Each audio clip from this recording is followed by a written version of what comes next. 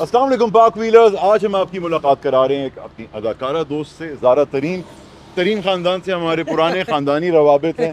तो अ, इनका लड़कपन इनका बचपन टेक्सास में गुजरा। टेक्सास में गुजरा और इनकी शर्त थी कि अगर मुझे इंटरव्यू करने आओगे तो फिर Ford F one fifty Raptor लाना होगा। हाँ। सुनील भाई ने कहीं से पैदा कर लिया? नहीं, मैंने पैदा नहीं किया हमारे दोस्त शिराज में उनके घर गया था तो मैंने मुझे उसने बोला फराने के जाना है रिव्यू के लिए और ये लेके जाना है। तो यही अच्छा, तो होता है तो पैदा इसलिए करना। हमने कहा ठीक है, सोच रही थी कि आप लोग कहाँ से लाएँगे? कराची में मैंने देखी नहीं है मैंने इसको देखा नहीं। पार्क व्हील्स का मैं ये देखती हूँ मैं फ़ैन भी हूँ तो मैं बहुत सालों से चाहती थी कि कुछ इस तरह हम भी करें। तो एक बात बताएँ आज टेक्सास की यादें ताज़ा हो जाएँगी इसमें बिल्कुल हो जाएँगी देख के ही हो रही हैं अब चला के तो देखते हैं। लेफ़्ट हैंड ड्राइव में बैठते ही हो जाएँगे वो लेफ़्ट हैंड ड्राइव में बैठते ही हो जाएगी। सुसाइड डोर्स वाला वर्जन लेकर आए हाँ, ये अभी में दिखाएँगे। वाहिद है। इनवर्स डोर वाले मेरा ख्याल है वाहिद ही है। सो इस इनवर्स डोर ये एफ़ जे क्रूजर की तरह आर एक्स एट में भी आते हैं। सो इनवर्स डोर काफ़ी गाड़ियों में आते हैं लेकिन जो ट्रक्स हैं ज़्यादातर उनमें अगर आप इसमें देखें रैप्टर आपको जो नॉर्मल दरवाजों वाला मिलेगा बट इनवर्स डोर वाला बड़ा लिमिटेड एडिशन है। तो आए अंदर बैठते हैं बाहर गर्मी बड़ी है। सीट बेल्ट be- एवरीबॉडी आपने वहाँ पे कितनी अरसा कौन सा ट्रक चलाया और कितने साल आप टैक्सी यार actually to be honest I never owned a truck but मैं हमेशा अपने दोस्तों की ट्रक चलाती थी। आई ओन्ड एन एक्यूरा ठीक और किरो को कह सकते हैं कि होंडा की Lexus it is it is a Honda जैसे निसान की इंफिनिटी है उस तरह से बिल्कुल। Luxury division it is a Honda company अच्छा। Ford is Ford Ford is American man it's as American as it gets so truck कौन कौन से चलाए आपने ये F150 चलाया है पुराना. I was there 10 years ago now तो। ठीक है। वहाँ पे जो ट्रक का कल्चर है ना एक्चुअली मोस्टली है कंस्ट्रक्शन वर्क में. टेक्सास में ये है कि everybody has a truck so any time जब आपको कहीं मूव करना होता है या क्या तो आप हमेशा अपने दोस्तों को कॉल करते हैं सही है। कि मुझे तुम्हारा ट्रक चाहिए। अभी मैं रस्ते में फरान से बात करता फरान मेरे से पूछा व्हाट्स विद बिगर ट्रक्स इनको क्या शौक होता है अमेरिकन को? मैं कह उनका कल्चर है दो चीज़ें ज़रूरी हैं एक असला और एक ट्रक और एक ट्रक और वहाँ पे रोड भी ऐसे होते हैं ना कि हम्म। आप इतनी छोटी सी लेन्स तो नहीं होती बड़ी बड़ी लेन्स होती हैं। जो नया रैप्टर है इसका इंजन बहुत छोटा साइज़ है। सो इस 3.5 इको बूस्ट हाँ। तो पहले होता था 6.2 और रैप्टर का जो था मेन था ये कि इसकी जो है ना गैस गजलर और एक बड़ा इंजन बट पूरी दुनिया में बिकॉज़ ये एक वो आ गया है ट्रेंड के छोटे इंजन से ज़्यादा आउटपुट लेते हैं। अब ये टर्बोज आ गए हैं। सुनील इसका बताएँ कि ये कितना है इसकी गैस इसकी माइलेज का क्या सीन है? ये 3.5 इको बूस्ट है और मेरे ख्याल से ये फ्यूल एवरेज जो देता है वो 6 से 7 किलोमीटर पर लीटर देता है which is not bad for this size of truck which is very good इससे I पहले think- 5.7 होता था। 5.7 था 6.2 था रैप्टर. तो और वो उनकी आउटपुट भी मज़े की बात है आउटपुट बढ़ गई है।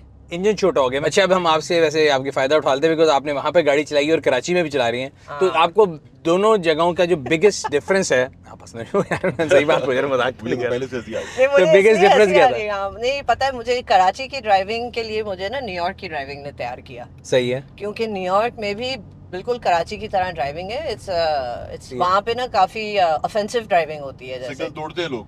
तो निकल जाता है बंदा इधर उधर से because New York is you don't have time you know I love driving मुझे मेरे लिए मेरे रिलैक्सिंग टाइम होता है कि गाड़ी में बंदा निकल जाए और वो किसी को समझ में नहीं आता टॉर्चर थेरेपी पे बिलीव रखती है कराची की ड्राइविंग में अगर एंजॉय कर रहे थे torture therapy see a therapist after this. अच्छा वैसे बाय द वे इसके लेफ़्ट हैंड होने से इतना कोई वो फ़ायदा होता है पता है क्यों? मज़ा आ रहा है सिटी ड्राइव में तो खासतौर पर फ़ायदा इसलिए होता है कि लेफ़्ट साइड पे लोग जगह नहीं दे रहे तो लेफ़्ट साइड आपको नज़र आ रही है। हाँ। हाईवे में अगर आप मोटरवे पे तब भी ठीक है। जीटी रोड पे when you have to overtake तो फिर जो आपका को ड्राइवर है ना या को पायलट जो है हाँ। उसका रोल बढ़ जाता है कि आपने थोड़ा सा मुँह बाहर निकालेंगे ट्रक से सामने से तो नहीं आ रही। But if it's normal two side road फिर ठीक है। जिनसे आप ये लेकर आए हैं हाँ। उन्होंने इस गाड़ी को कुछ किया हुआ भी है फॉर श्योर इसकी अगर आप देखें ना मज़े की बात ये है कि अभी आप इसको वैसे नॉर्मल चलाएँ कोई आवाज़ नहीं है। द मोमेंट यू रेविट इसकी इतनी ज़ोर की आवाज़ आती है कि फ्रांस साहब इधर आते हुए ना जब मैं चला रहा था तो चीखे मारते हुए आए हैं। दबाएँ जरा। फुल दबाएँ। इसकी इसकी है एक सब मोड कुछ भी है है दबाएँ, ये आप आवाज़ हो रही है। ये ये ये ब्रेकर आ गया बस।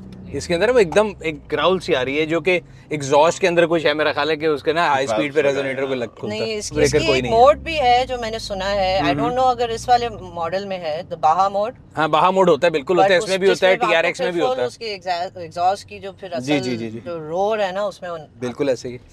फ्रांस साहब बाहा पता क्या होता है? बाहर रेसिंग होती है। शुक्र है? तो खैर बाहा मोड होता है और इसमें सर्टेन मोड्स होते हैं। इसमें है इस वाले मॉडल मैंने अभी एक्सप्लोर नहीं किया अपनी गाड़ी तो बंदा कर लेते है यार। मांगे पे क्या एक्सप्लोर करते can you can you guess how many gears are in this car यार ये ये तो फैसलाबाद से फ़ोटो बॉम्बर जो लेके आए हैं ना ये हर चीज़ बता देता है। तो वेट कह रहा था। हैं?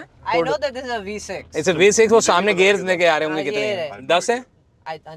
वो आरपीएम के अंदर देखें 10 हैं। इसको जरा वो उस पे कह रहे हैं ना ट्रिप्टोनिक 10 है ना? हाँ। यार 10 लिखे हुए हैं भाई।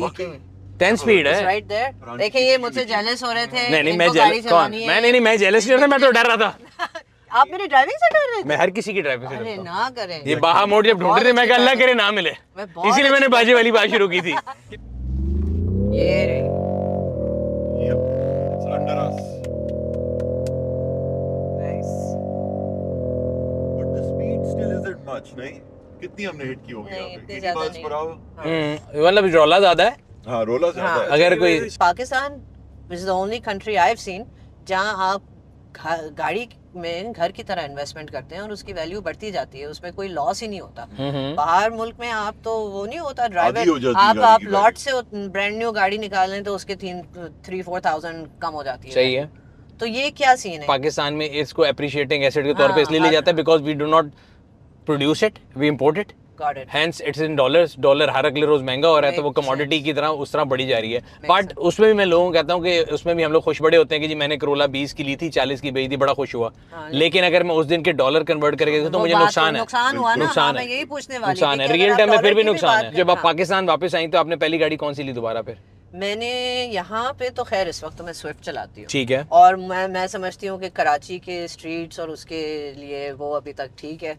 आपने imported मेरी variant अम्मी क्यों लिया, शौक क्यों नहीं लिया? मेरे पेरेंट्स ने एक्चुअली आके ये खरीदी थी और ये किसी से यूज्ड हमने मॉडल लिया था। इट वाज अ जापानीज में हम्म, हाँ वो मैं कह रहा हूँ जैपनीज में मुझे नज़र आ गया था उसके वाइपर से मैंने ये आइडिया लगा लिया। पेरेंट्स ने खरीद की थी। उस वक्त मेरा प्लान तो था नहीं शुरू शुरू में ना ही मुझे ऑनेस्टली कोई इतनी यहाँ पे समझ आती थी गाड़ियाँ खरीदने की कि यहाँ सिस्टम क्या है।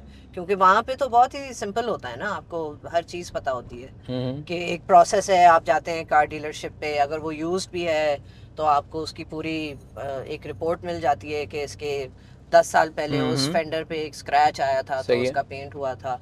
तो वो सारी चीज़ें अलग हैं इधर। तो नहीं नहीं हमने आपके लिए वो यहाँ पे भी कर दी है। वैसे अगर आप पार्क हाँ। पे जाएँ कोई भी आपने यूज़ कार लेनी है। You just go to that car और आप उस कार को सर्च करेंगे। उसमें जो मैनेज बाय पार्कविल लिखा रहा होगा आप उस कार पे जाएँगी उसकी इंस्पेक्शन रिपोर्ट भी लगी होगी उसकी माइलेज ये मैंने सुना था कि 200 प्लस पॉइंट हाँ जी। तो 200 पॉइंट जो पॉइंट है वो चेक उस पर लगा होगा। अगर नहीं भी आएगा फ़र्ज़ करें मैंने अपनी लास्ट चार गाड़ियाँ अपने दफ्तर में बैठ के खरीदी मैं बाहर भी नहीं गया कहीं। So I just called an inspection वहाँ पे. इंस्पेक्शन टीम गई उन्होंने रिपोर्ट भेजी डिजिटल फॉर्मेट में रिपोर्ट आ गई।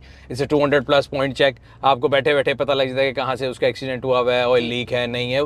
तो आप एक इन्फॉर्म डिसीज़न ले रहे होते हैं। तो हमने एटलीस्ट वो हिस्सा तो आपका जो है ना experience of buying a car in US basically symmetry of information थी ना Right. वहाँ पे जो सेलर हाँ। बायर है उनकी एक थी हमारे यहाँ पे फ़र्क थी जी बिल्कुल हमारे यहाँ पे इतना स्ट्रीमलाइन नहीं है कि मैं आपको ये बता सकूँ कि 10 साल पहले ये फेंडर कौन सी वर्कशॉप से रिपेयर हुआ था बिकॉज़ वहाँ रिक्वायरमेंट बाय लॉ है so there is. Kelley Blue Book वहाँ पे तो आपको पता ना सब कुछ है यहाँ. पे यहाँ पे वो नहीं हो सकता बिकॉज़ हमारे यहाँ पे तो हर गली में वर्कशॉप है सो आई नो कि ये पार्क व्हील बहुत सारी ऐसी चीज़ें ला रहा है तो आप मुझे एक और चीज़ बताएँ अब। इंस्पेक्शन का is not only related to selling and buying. Inspection का जो दूसरा पर्पज है जो आपको वहाँ टिकट लगती है हर साल अगर आप इंस्पेक्शन। ना कराएँ has a lot to do with economy आपकी गाड़ी कौन सी फ्यूम्स थ्रो कर रही है out in the you know in the environment all that. आपको लगता है कि ये कभी यहाँ पर हो पाएगा उसमें एक सबसे बड़ी इंपेडिमेंट ये है कि देखिए अभी जितनी आपकी कमर्शियल ट्रांसपोर्ट है ना उसके लिए तो ज़रूरी एक फिटनेस सर्टिफिकेट की। स्टैंप होती है वो हर साल एक दफ़ा होता है। हाँ। जो डोमेस्टिक ट्रांसपोर्ट है उसकी हालत मैं आपको बताता हूँ और उसका मसला ये है कि इतनी गाड़ी जो सड़क पे है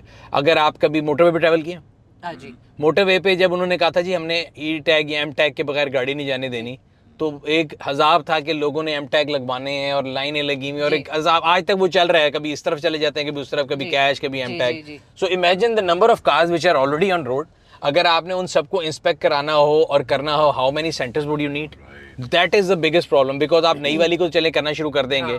Where do you inspect them वो एक बहुत बड़ा जिसे कहते हैं ना एक इशू बन जाता है और हमारे यहाँ पे फॉर्चुनेटली और अनफॉर्चुनेटली जो है ना जमहूरियत जो है वो एक ऐसी चीज़ है कि आपने लोगों से वोट लेने हैं। हम्म। हाँ। और अगर ज़्यादातर लोग जो मेरे और आपके जैसे जो है हम लोग उसके अगेंस्ट हैं किसी चीज़ के बेशक वो सही भी हो तो वो नहीं होगी। तो आज अगर गवर्नमेंट कहती है ना कि जी हमने ये डोमेस्टिक गाड़ियों के भी इंस्पेक्शन करनी है मैं आपको लिख के दे देता हूँ आपका नहीं पता मैं तो ये कहूँगा ये पैसे बनाने की स्कीम हाँ लोग तो यही कहें हम्म। जो हमारे मुल्क के हालात हैं लेकिन जिस तरह की गाड़ियाँ जैसे फैजान ने भी बोला हम्म। कि अभी भी लोग मतलब गाड़ियाँ वो ले रहे हैं जो करोड़ों में चली गई हैं। और हम लोग इकोनॉमी पे कंप्लेन कर रहे हैं कि हम्म, पेट्रोल के पैसे नहीं मैंने तो इलेक्ट्रिक बाइक ले लिए और हाँ। इलेक्ट्रिक जो मतलब टू व्हीलर्स है ना हाँ। मुझे ये लगता है कि हमारे मुल्क का जो सबसे बड़ा मसला है ना ये जो हाँ हम फ्यूल के लिए रोकते रहते हैं वो बेहतरीन चीज़ है। मतलब अगर हम अपने लोगों में यही इन्वेस्ट कर लें कि वो अपनी ये मोटरसाइकिलें वापस करके उनको हम लोग वो ही दिला दें ये भी गवर्नमेंट ही कर सकती है। तो मेरे ख्याल से तो ये दो चीज़ें जो है अगर कोई देख लेकर जो। अरबाब इख्तियार में से है हम तो खैर जी। बकबक कर सकते हैं। कि एक तो इलेक्ट्रिक जो हमारे मुल्क में रेवोल्यूशन है उसको लाने के लिए इससे chicken and egg problem charging station लगाएँ लोगों को जो है ना सस्ता कर्जा दें बिकॉज़ इनिशियली आपके लिए और मेरे लिए शायद वो पाँच लाख या छह लाख की बाइक को वेरी नहीं करती हाँ, लेकिन लोगों के लिए महँगी है। टेक्नोलॉजी नहीं है सो गवर्नमेंट को कहीं ना कहीं लोन देने पड़ेंगे। I think China heavily invest कर सकता है इसमें क्योंकि China BYD has just become the world's biggest producer of elect- electric cars.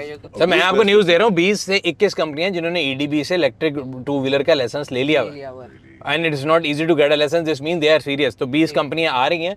बस नीड इस चीज़ की है कि टू व्हीलर की फाइनेंसिंग ही नहीं होती पाकिस्तान में। बिल्कुल ऐसे ड्यूटी क्या है इलेक्ट्रिक कार पे अगर इलेक्ट्रिक गार्ड पे टोटल क्यूमुलेटिव जो परसेंटेज बनती है that is around 62 percent as opposed to 460 percent on a gasoline car but वो गाड़ी है यार मैं ये बता रहा हूँ गाड़ी को छोड़ दें motorcycle motorcycle two wheeler three I wheeler हमारा शुरू इधर ही वहीं से होगा ये आसान भी है और अगर कोई पॉलिसी वाला ये भी देख रहे तो स्कूल वालों से रिक्वेस्ट कर लें। जो। अमीरों का स्कूल है वो महँगी गाड़ी ले लें जो गरीबों का स्कूल है हमारे जैसा वो सस्ती ले लें बट मेक श्योर के हब स्पोक सिस्टम बना लें कि यार ये क्लिफ्टन के यहाँ पे सारे पेरेंट्स यहाँ छोड़ेंगे यहाँ से जाएँगे उससे सड़क पे रश कम होगा। फ्यूल बिल कम होगा टाइम बचेगा। तीन तीन चार चार साल का बच्चा इतनी बड़ी बड़ी ट्रक में आ रहा है कितना टाइम वेस्ट हो रहा है कितनी एनवायरनमेंट को फ़र्क पड़ रहा है हमने खास तौर पे अमेरिका से एडवाइजर इम्पोर्ट किए हमारे ना सुने अमेरिकन है एडवाइजर के सुन ले मैं तो यार वैसे कहता हूँ देखें फ्यूचर है। ना दीवार पे लिखा हुआ है कि दीवार आगे दीवार है अगर आप उसकी तरफ़ जाते हुए आँखें बंद करेंगे तो टक्कर ही मारेंगे। सो हमें नज़र आ रहा है फ्यूल प्राइसेस ज़्यादा है सारा कुछ है तो ये रियलिटी है इसको अगर फेस नहीं करेंगे और करते रहेंगे तो फिर एट द एंड नुकसान ही होगा। हाँ। और ये फ्यूल की प्राइसेस जो किसी ने कम नहीं करनी मेरे आपके लिए तो हमें अपने आप को जो है ना अपनी हैबिट्स को रिवाइज करना पड़ेगा लोग को रिवाइज करना कर पड़ेगा ये था आज का वीडियो उम्मीद करते हैं आपको पसंद आया होगा। बहुत मज़ा आया। Thank you for letting me drive नहीं, thank you very much अभी for उसकी giving बहुत us सारी time. मोड्स हैं जो वो मोड हम सीखेंगे अगली बारी फिर देखेंगे इसको क्या करना है। और आपसे अगली वीडियो में मुलाकात होगी। तब तक आपसे रिक्वेस्ट ये है कि अगर अभी तक आपने हमारे यूट्यूब चैनल को सब्सक्राइब नहीं किया सब्सक्राइब कर लें। आप भी कह दें आप भी कह दें मेरे कहने से please subscribe I am subscribed बहुत uh, uh, सीखने को मिलता है। If you are into cars ये इंस्पेक्शन वाली चीज़ भी मैंने इधर देखी थी तो मैं बहुत खुश हुई थी कि ये चीज़ें हो रही हैं। And PakWheels is doing some awesome stuff और हमें 10 मिलियन सब्सक्राइबर्स तक सिर्फ़ आप ले जा सकते हैं। इंशाल्लाह ताला। आपसे अगली वीडियो में फिर मुलाकात होगी। तब तक अपना और अपने गिरदन वालों का ख्याल रखिएगा। शुक्रिया।